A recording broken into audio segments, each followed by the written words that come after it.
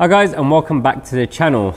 This intro has been filmed after the project's finished. This is the Eventuri RS3 and you may have seen it on the channel before. If you haven't, we'll put some links up to it at previous events. Now I've got Bilal from Eventuri, who is my business partner, so we both co-own Eventuri.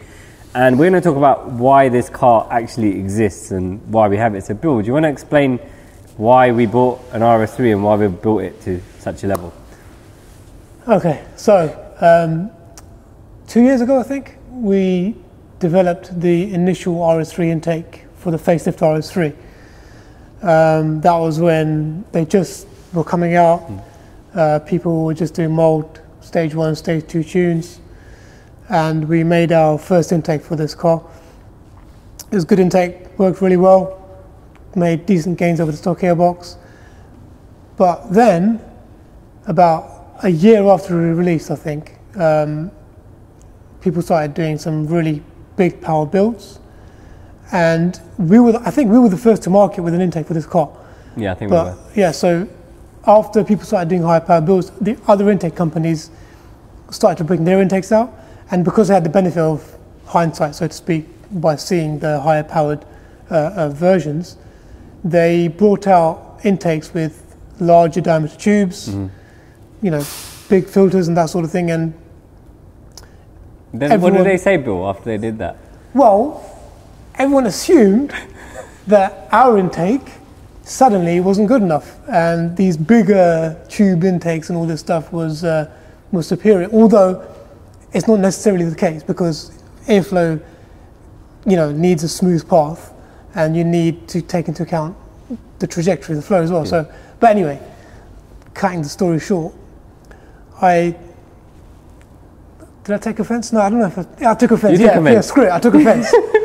and um, so we thought, okay, fine, let's play that game. And so we bought this car specifically to de- develop the biggest intake I could possibly fit into the car. We retooled the our filter for this car specifically. So, I so you want to show the difference in housing Yeah, size. so that's the original uh, filter. Well, AirPod size, which we used for the facelift RS3 and the original intake. Yeah. And then when we redeveloped it, it became this. Yeah, so let so I can just clarify. We have normally two filter sizes, that one and a smaller one than that. Yeah, so this yeah. one and a smaller one. And yeah. then we literally had to tool a whole new filter just for the intake, just for this car we bought just for this project. Okay. Yeah. So yeah, a whole new uh, filter was designed for this housing, which was just for this car, um, because I got upset. Basically. Okay, right. So basically, the long and short of it is, Bilal got upset because people said that his intake design wasn't working. So therefore, we bought this RS3 and wanted to make it really high horsepower to show that the intake does work, and then we developed the intake to suit the big power build. So what I'm going to do now is basically talk you through what's been done to this on a base level. What I will do is put a link in the description so you can see what the actual spec is. So with the car bought, it was time to turn it into a beast and a high-powered RS3 so we could really push the limits of the intake development. Uh, to do that, we needed a solid foundation, and for that, we needed to build the engine.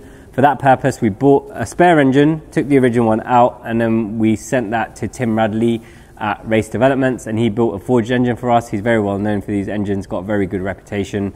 Uh, so he forged the engine for us, and he also did a set of his cylinder heads on this car. With that done, it was time to put the IMS 850 kit on, and the rest of the hardware, including the CSF intercooler and also the Stage 3 intake.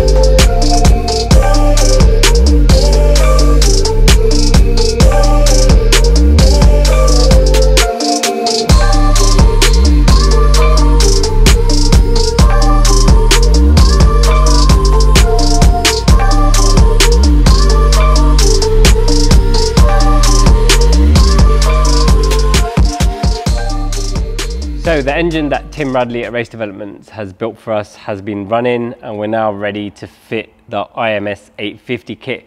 This kit did take quite a long time to come because that area has been quite affected by CV19, but we've finally got it and hopefully we can get this on and get the car ready for the next VMAX.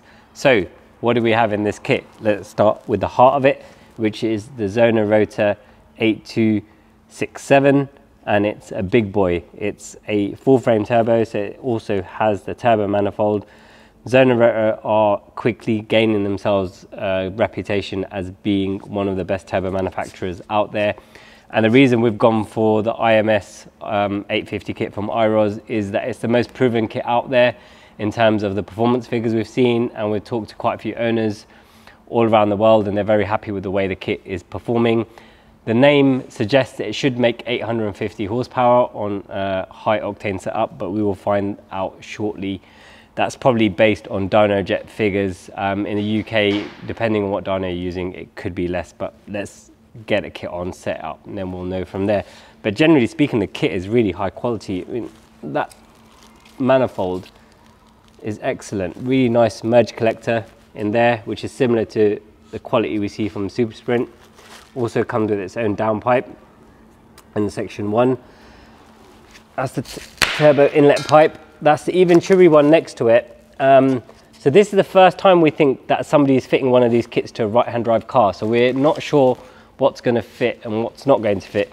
We can kind of tell that this is not going to fit and neither is that. So we're going to have to either make a hybrid or design a new pipe that works with this kit on a right-hand drive car also comes with an external TiAL wastegate and this is all going to be controlled with Syvecs unit and the reason we've gone for Syvecs is that we really want to go all out on this and we don't want the stock ECU limiting us and our friend Romain from Syvecs is going to help us set this up once it's all completed. So let's get this kit on the car, let's get it over to the dyno, tune it and see what power we can get out of it.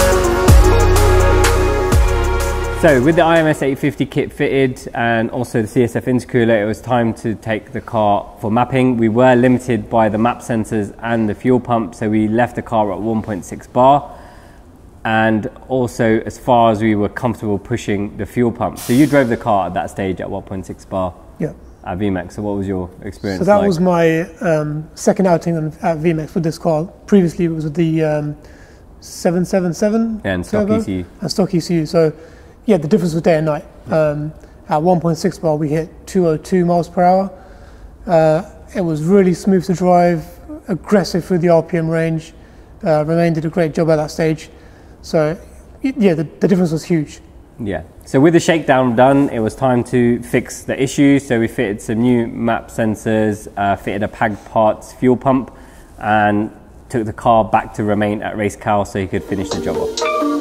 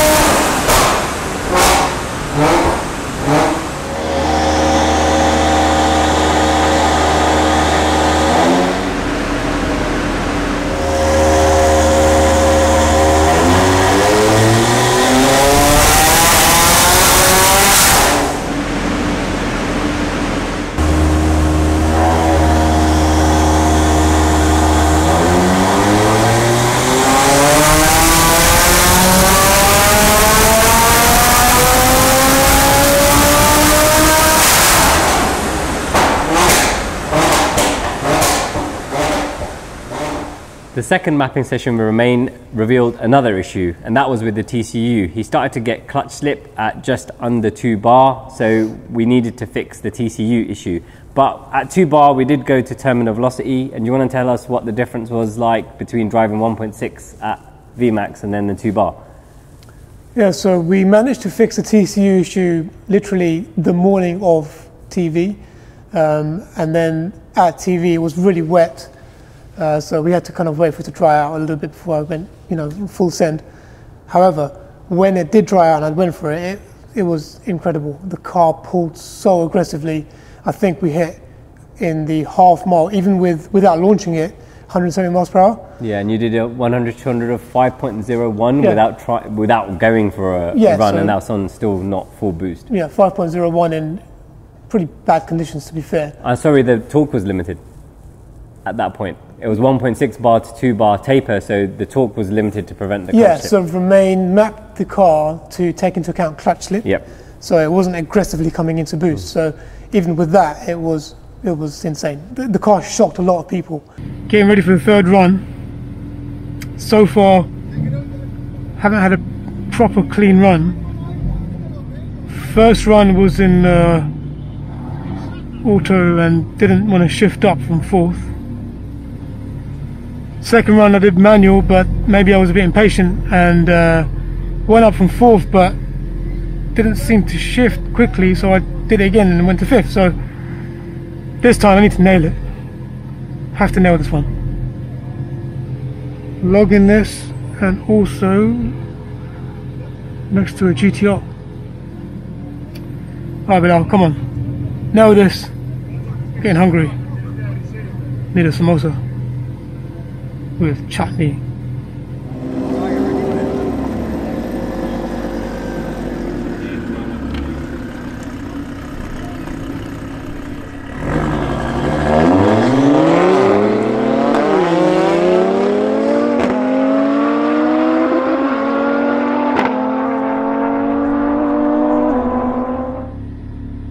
Okay, here we go.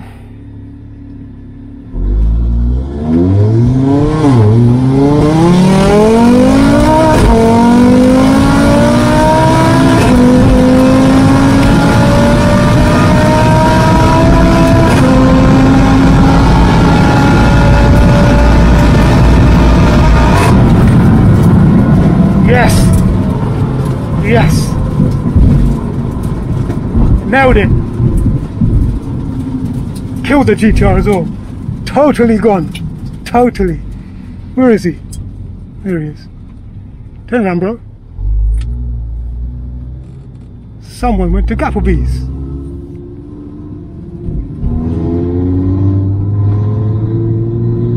Right. I think I deserve a samosa after that. Definitely deserve a samosa. Uh, on one run in particular, I fluffed the start completely, upshifted twice, and the GTR just left me. Then I reeled him in and went past him, which was just insane. So, just finished uh, lunch break. Back up now. Um, last run was good just didn't get a log on the laptop so I've um, we've reset that so hopefully this time around we'll get a good log and then we can try and see if we can make some adjustments on the on the delivery of power so I wonder how much power you're running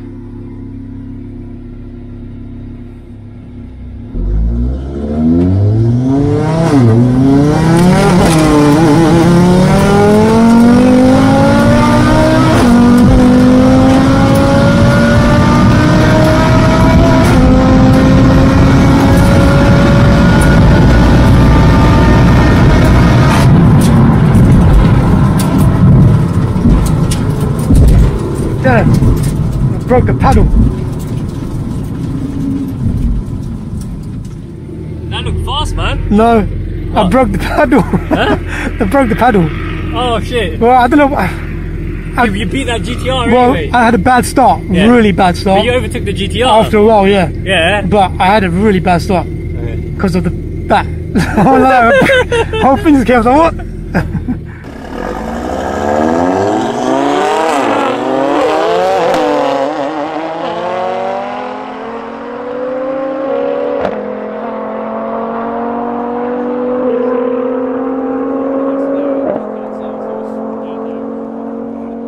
The car raised a lot of eyebrows at TV, even at that stage. Um, it was just impressive all around. So yeah, so the TV out of the way, uh, running two bar, we'd fixed the TCU issue. It was time to go back for the third time and let Romain finish the job off.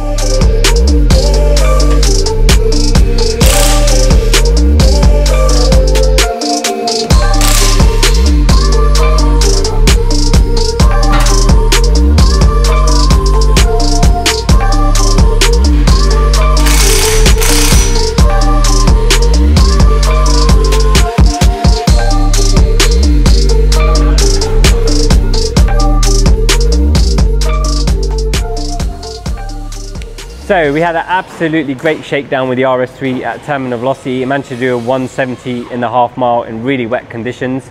When we were at RaceCal previously, Romain couldn't map the car to its full potential because we started to get clutch slip. So we resolved that by increasing the clamping pressure inside the TCU software.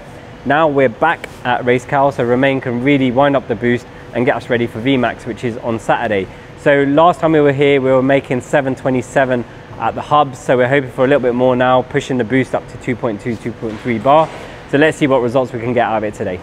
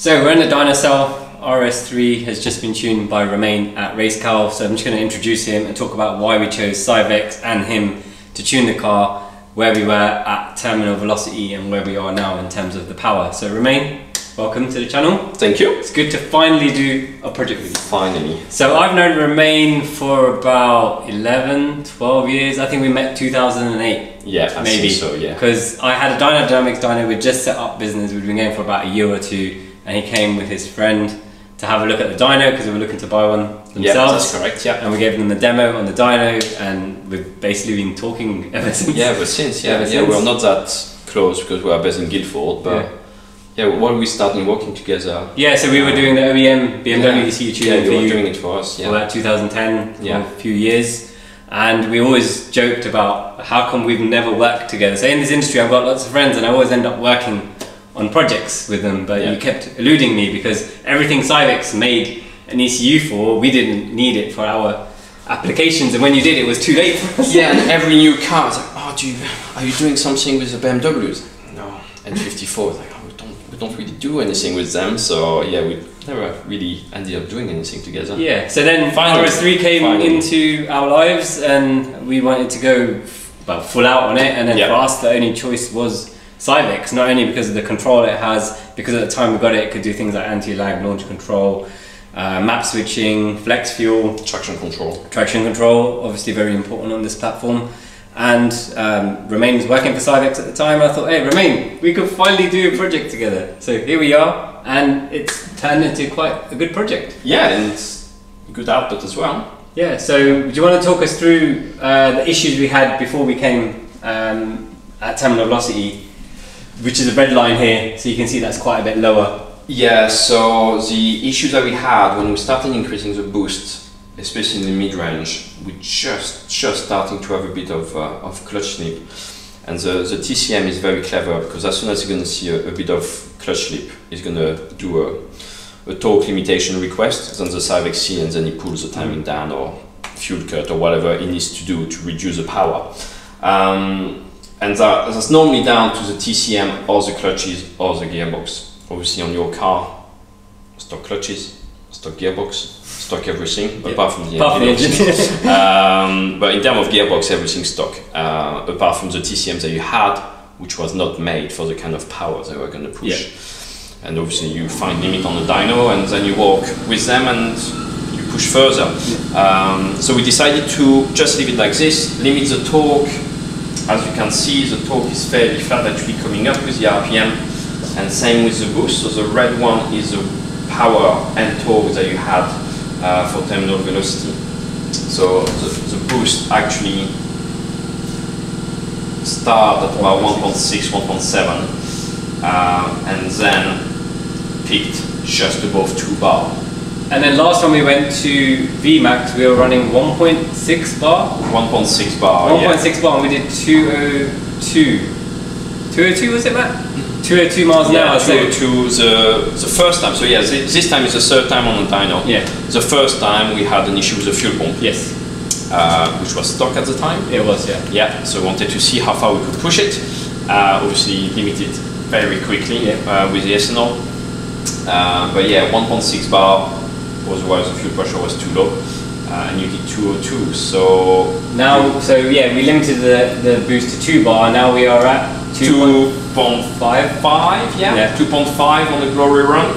Uh, we are reaching the limit of the injectors now. Yeah. So you're gonna dial it Uh, down. yeah, yeah, yeah. We're probably going to turn it down to 2.3, 2.4 bar, uh, which is still very good power anyway. Uh, that should be enough to max out the gearbox, hopefully. So we made on the high 2.5 bar 791 at the hubs. Is that correct? Yeah. And then when we were at 2.3 bar, which was what we're going to race with, what, what power we're going to make? Is that 7, 776? 714. 740. Yeah, that's this one, that's the that Okay. one there. Cool. Yeah, so that's what we're going to go to VMAX with. Uh, pro- probably a bit High- more. bit higher than more. Yeah, Okay. yeah, yeah. The, the torque will be flatter. Yeah. I would say. Uh, oh, no, sorry, 714 is what the limited yeah, one seven is. fifteen. I, I would so say VMAX probably is that, That one. one, yeah. Okay. That one. Just you can see it's from one bar less. Less, yeah.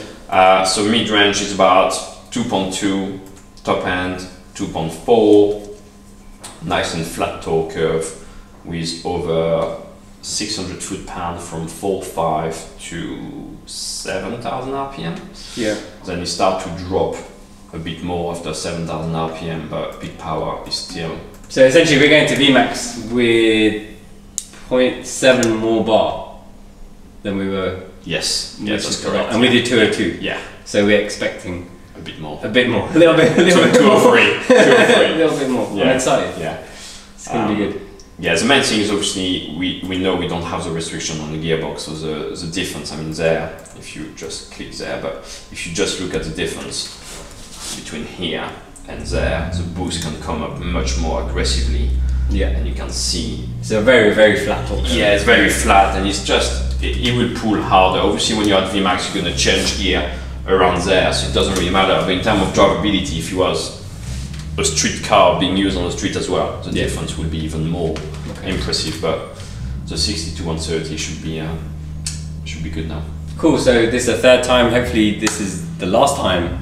Yeah. Not in a, not in a bad way, but No, yeah, not in a bad the way, car is yeah. now done, and we can actually go and. Well, we, we, we'll little bit. be we'll be with you on, on Saturday anyway. Yeah. Um, we'll see for track support. So Cool. we'll see we'll see there when uh, we want to push it, and if we can push it further, because we might be able to run the 791. Yeah. you never know. If We can try, everything- but I can run that one to do some draggy. yes, yeah, yeah, right, yeah, yeah, yeah, so- yeah, Just for drag, it's fine. Yeah, Okay. it's more like VMAX is Yeah, obviously very, sustained long hard on the car. Yeah, it's the hardest thing that you can do on a car. So So yeah, thank you for all your support on this and No your knowledge with the Syvecs and the tuning. I think we've got really good result. I want to thank everyone who's involved with the build. To be fair, Tim Radley's done a really good engine, IMS 850 kit from Iroz, CSF with the intercooler, and of course our intake that doesn't make any power, according to people. Yeah. It's limited to 600 horsepower, right? well. no, clearly, clearly. So, so, so, see, the thing is talking about restriction and and your airbox. Actually, that's a very good point because you can see that there's no restriction as of yet. If we had the fuel and if we had, um, if we wanted to run more boost, the increase in power and boost is always there, even very little increment. Yeah. If you look at the yellow and the blue, you're talking 0.1 of a bar, and you can see That much 0.1 extra of a bar yeah. is you're picking up.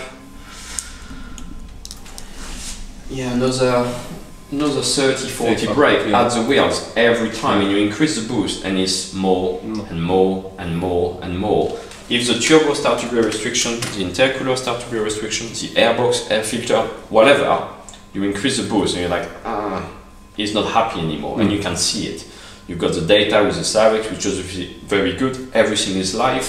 You can do everything instantly. If I want to change something I can do it during the run after the run. You can do run after run and repeatability as Yeah. we can see there- and the airbox is nowhere near the limit. Yeah.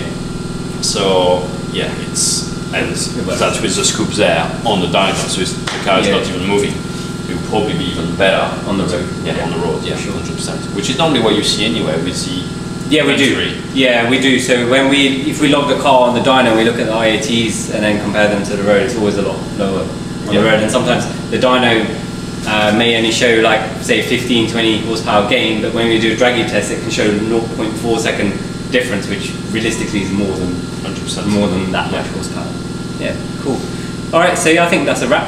Yeah. Um, let's see how we get on at VMAX. Hopefully, we can take the RS3 record. would be nice Would be nice. yeah And then, um, yeah, we'll see how we go next year as well. See if we can get some more out.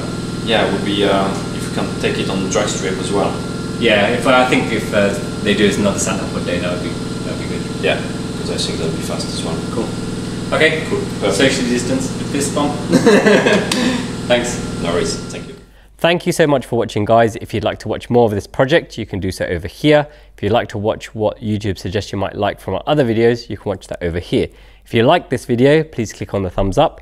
And if you haven't already, please subscribe to our channel. If you guys have any questions, please drop them in the comment section and we'll do our best to answer them for you.